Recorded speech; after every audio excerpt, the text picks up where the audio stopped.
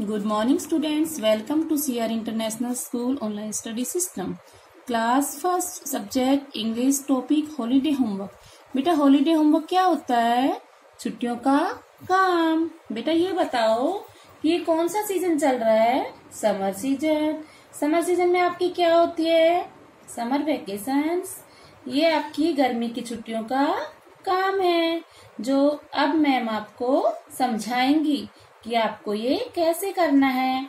यह काम आपको फेयर नोटबुक में करना है ओके आओ, अब हम अपना वर्क समझेंगे। बेटा, आपका यह वर्क आपके असाइनमेंट पर निर्धारित है, या ये वही वर्क दिया जा रहा है जो आपने असाइनमेंट में सीखा था ओके देखेंगे फ़र्स्ट पेज बेटा। Question number one write the name of the days days होता है दिनों के नेम लिखो। बेटा डेज़ नेम कौन से होते हैं? Sunday Monday Tuesday Wednesday Thursday Friday and Saturday ये सभी क्या है? दिनों के name okay second question use of this that बेटा दिस का यूज़ हम कहाँ करते हैं और दैट का कहाँ करते हैं? देखो। दिस का यूज़ हम करते हैं पास की चीज़ के लिए और दैट का हम यूज़ करते हैं दूर की चीज़ के लिए जैसे that that is a bat ये दूर है है ना? अब काइट काइट कहाँ है? पास है तो किसका यूज़ करेंगे? दिस का। अब पेन हमसे कहाँ है? दूर है तो किसका यूज़ करेंगे? दैट का। फ़िश पास में तो किसका यूज़ करेंगे? दिस का। ओके सेकेंड पेज देखेंगे। Page number two question number three how many vowels are there in the following words बेटा, जो वर्ड्स दिए गए हैं, इनके हमें क्या बताने वोवल्स ठीक है? जैसे बैट में ए कितने लिखोगे? One M A N G O कौन कौन से वोवल ए और ओ कितने लिखोगे? टू फादर ए और ई टू ठीक है? बुक कितने हैं? इसमें है तो एक. मतलब है दो और लिखोगे कितने? एक. क्योंकि एक ही तो है vowel O okay question number four put an articles A और एन बेटा, हमें ए और एन का यूज़ करना ए का यूज़ हमें कहाँ करना है और एन का कहाँ करना है? बेटा एन का यूज़ हमें वोवल्स के साथ करना है। वोवल्स कितने होते हैं हमारे? फाइव कौन कौन से? ए ई आई ओ यू ओके बाकी जो बच्चे हैं कॉन्सोनेंट है। जैसे अब अम्ब्रेला है। अम्ब्रेला में किसका यूज़ करेंगे? बताओ यू का है वोवल किसका यूज़ करेंगे? एन का। ओके वेरी गुड बोल बोल में भी क्या है? कॉन्सोनेंट तो किसका यूज़ करेंगे? एक का। कप कप में सी क्या है? कॉन्सोनेंट किसका यूज़ करेंगे? एक का। वेरी गुड अब देखो एग एग में ई क्या है? वोवल किसका यूज़ करेंगे?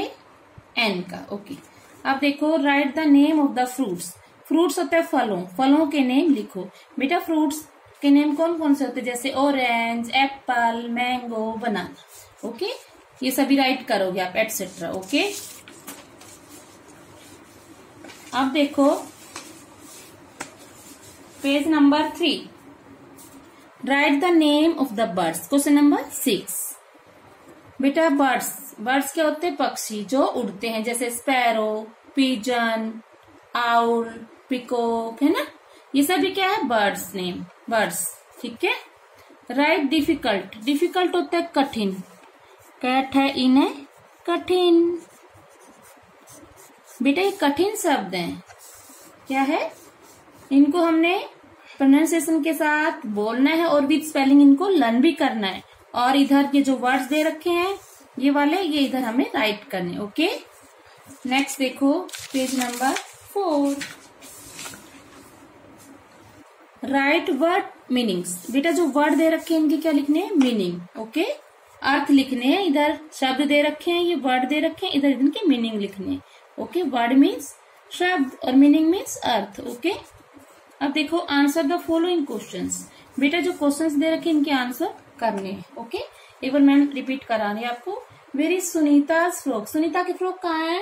Sunita frock is on a hanger. Where was the brown house? Brown house कहाँ था? बताओ। In the green house. Where is the parrot the parrot is in the cage where was the white house white house कहाँ था? बताओ। In the brown house what was in the white house white house कहा? What was in the white house white house के अंदर क्या था? बताओ क्या था? There was a little pool next देखो। Page number five question number ten. Pick the correct answer what was in the बेटा हमें करेक्ट जो सही है, उस पर हमें निशान लगाना है, ठीक है? What was in the little green house little green house के अंदर क्या था? ए लिटिल ब्राउन हाउस या ए लिटिल रेड हाउस क्या होगा बेटा? ए लिटिल ब्राउन हाउस पे टिक करेंगे। What was in the little white house छोटे व्हाइट हाउस के अंदर क्या था?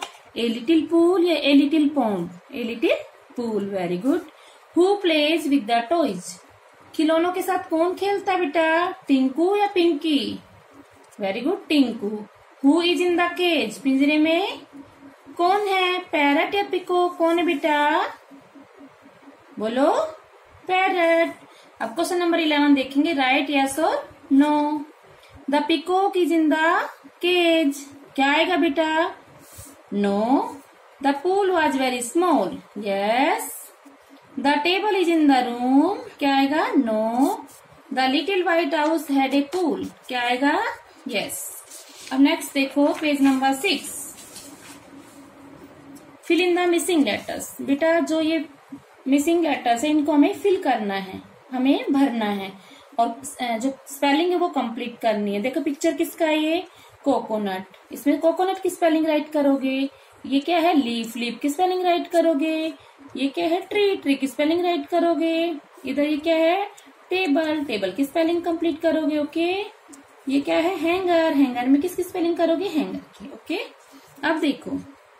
पुट इज़ और are in the blanks question number thirteen बेटा इज़ का यूज़ हम कहा करते हैं? He she it and singular noun यानी कि एक के साथ। एक के साथ हम इज़ का यूज़ करेंगे और we you they and plural noun यानी कि एक से ज़्यादा के साथ हम किसका यूज़ करेंगे? आर का। और दिस और दैट के साथ भी हम किसका यूज़ करेंगे? इज़ का। ठीक है? और दीज और दोज के साथ हम किसका यूज़ करेंगे? आर का। ओके नेक्स्ट देखो। यूज़ ऑफ़ हैज़ हैव बेटा he she it and any singular noun कि उसके साथ किसका यूज़ करेंगे? जैसे किसी का नेम आ गया सपोज़ करो ये Ishu dash many jean pants तो इशू क्या है हमारे लिए?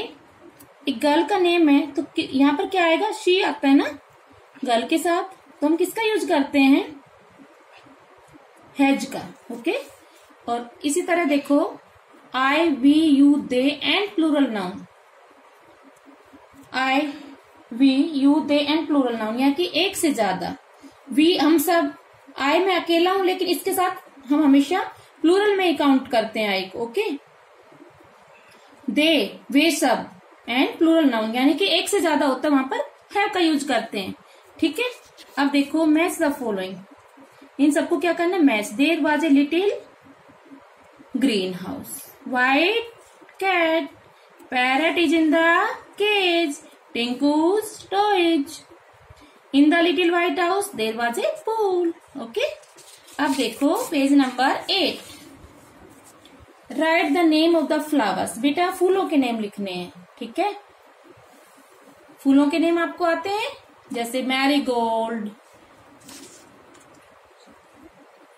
लोटस रोज ये सब क्या है? फूलों के नेम ओके ये लिखने आपको सबको, ठीक है?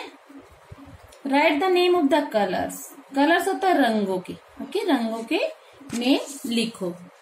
रंगों के नेम आपको आते हैं, ठीक है? जैसे रेड ये कौन सा कलर है?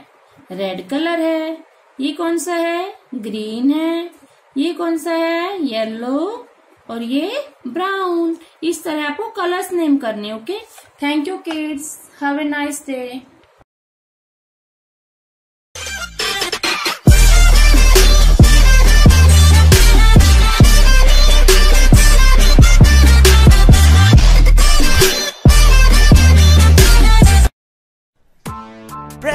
icon on the YouTube app and never miss another update.